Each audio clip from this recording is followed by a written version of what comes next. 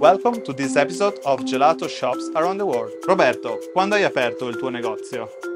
Come ho appena detto, eh, sono 30 anni che faccio questo lavoro. Il nostro acronimo è HEC, G e K, che vuol dire pazzo. E io mi ricorderò sempre quel giorno, ho detto questo è il lavoro che voglio fare per te.